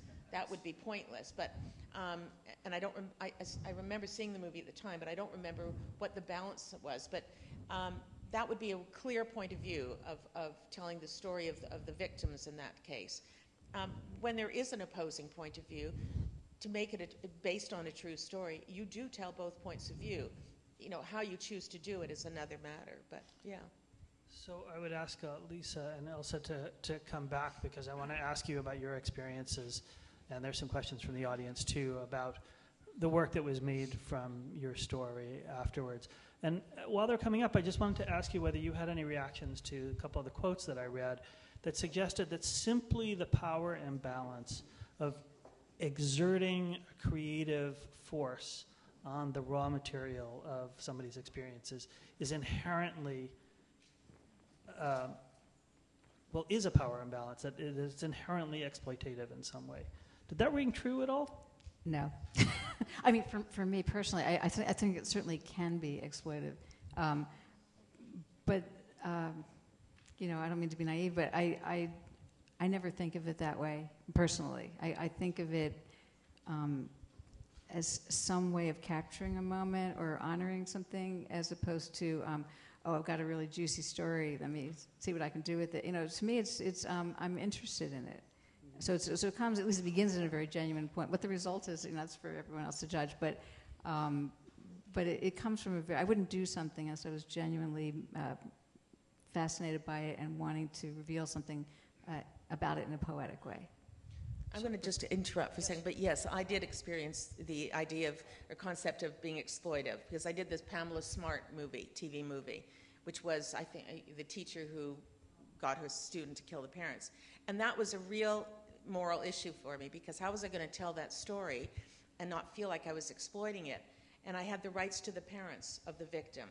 And so we told it from their point of view So it wasn't just about the killer's point of view, and that story's been told a few movies, but really from the parent's point of view. And so we spent a lot of time developing the script and, and the movie, getting in that point of view. You know, these crimes are very glamorous. They hit the newspapers, but there are real victims involved. So, you told your stories tonight um, after many years of watching other people do it, both through the media, through these TV movies, through the opera. Um, in the immediate aftermath, uh, what would tell us about your experience, especially of the first of the TV movies, which, as I understand, was something that your mother um, negotiated? Yeah, well, our mother. Are your microphones on? Yeah. Can you hear me? Well, our mother, um, at first, she hadn't really thought to do that. She was approached to do a film, or, or, or but then she thought, I want to do anything, I, everything I can do to, to, so that the story will be told, so that people won't forget what happened. And so she made a decision, and she interviewed some of the people who had uh, expressed a desire to make a film, and, and she uh, found a woman who she felt that she could work with that would do it, do, do it well, do it right. And she proceeded to arrange for that. Unfortunately, she passed away, and my sister and I became the, the um, consultant on, on the first, it was an NBC uh, movie. And what was it like for you to watch that story that had been so much a part of the fabric of your lives turn into TV? Well, we act- I actually went to Australia where they were making the film. So, and I met the actors, and they wanted to find out about my parents. They wanted to know how to do it right, how to get it right. They wanted us to be proud of their, their their art. And so, you know, I met with all the people and, and they wanted, in fact, here's a story. In the second film that was made, uh, Burt Lancaster played our father. Do you know he called us up? He came to New York because he wanted to learn how my father moved, how did he walk, how did he talk. It was amazing. And he said, I want to get this right. Of course, he then, ha- a few years later, had a stroke himself. Uh, so, what was the question again?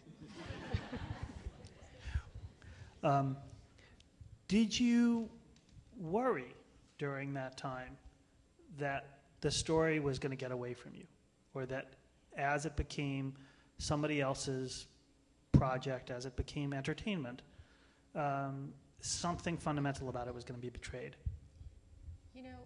I think our mother was very careful about who she selected, and she really spent a lot of time with this particular person who she chose, and we were there listening to the conversation. So, I mean, there's always a little bit of anxiety over it, but we thought from the beginning that we were on the same page, and it was very much that they wanted to honor the story. So I know that the John Adams opera that uh, came some years later was a really completely different experience for you. You were not um, involved in or consulted um, in the creative process at all.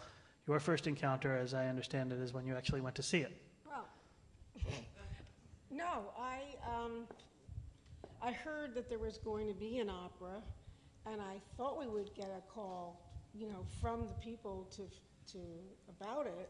Nobody ever called us or anything. So I said, okay, an opera. Well, at first we were thought, oh my God, how wonderful an opera. Um, uh, it's going to be wonderful. I mean, oh my God, for posterity, the opera.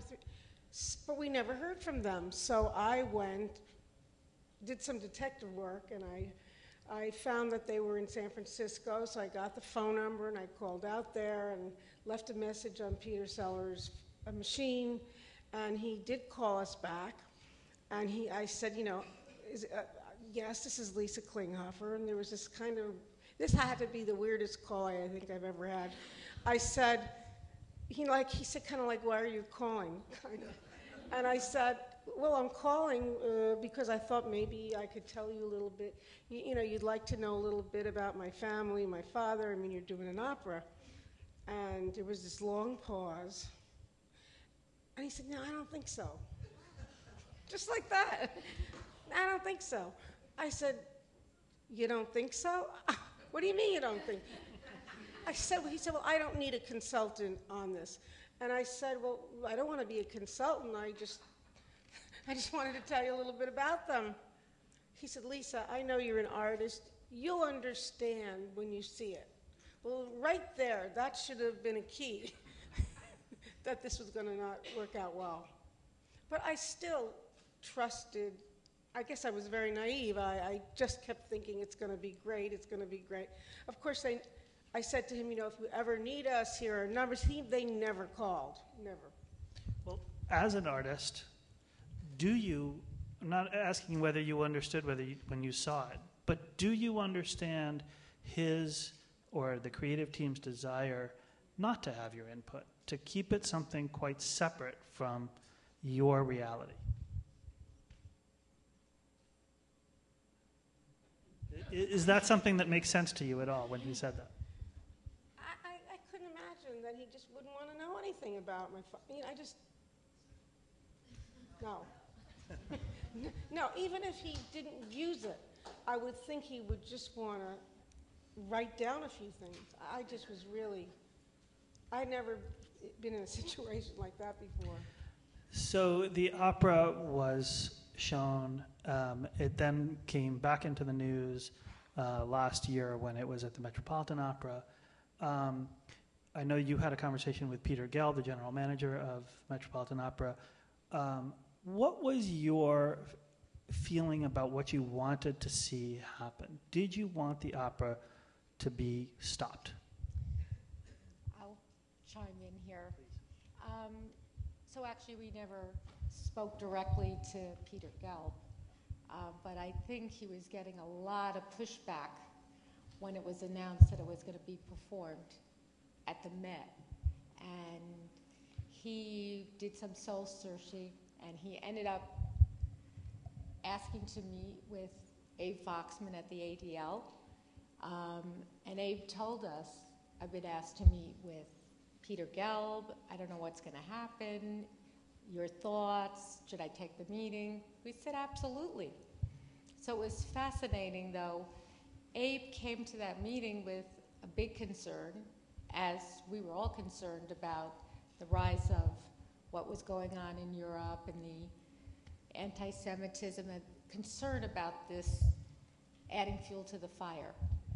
And I think Peter Gelb was very concerned about being adding fuel to that fire. So we were surprised when we learned that he wanted to pull the worldwide viewing of it. He decided to do that. Right. He decided to do that. And we were really surprised. We were, we were really pleased. I should just clarify by that, she means that it was being broadcast in movie theaters, Oh, a live broadcast Sorry. all over the world, as the Met does for uh, many performances. And in this particular case, he decided, the general manager decided, to pull those broadcasts specifically from Europe or, or everywhere outside of the United States, I think. Not in the, it was shown in the United States. No? All right. I think it was about 70 countries, and I, I can't remember what. Yes, okay, there you go. And um, so we were really happy about that. And then he went on to also say that he would be in agreement if we wanted to write something to put in the program to talk about what we think and, and what were the facts of the story, which is something that we have been doing every time this opera appears. We reach out, whether it's in the United States, in another country, and we try to do that.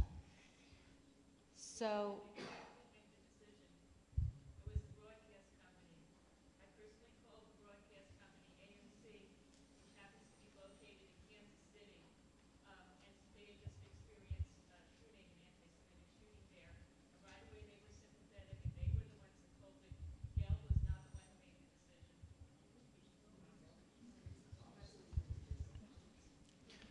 Okay.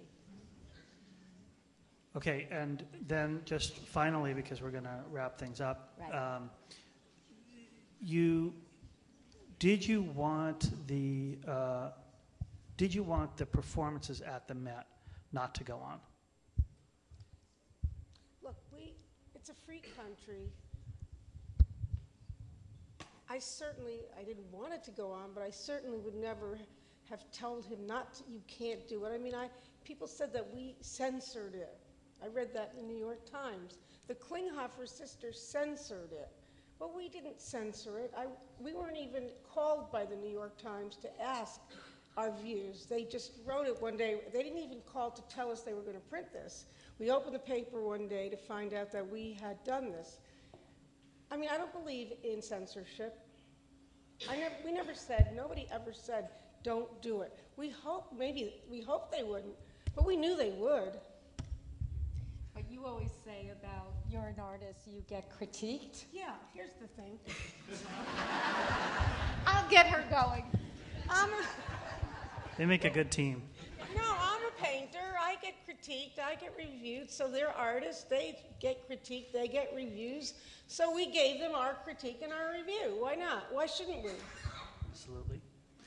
Well, thank you very much for being so patient with us.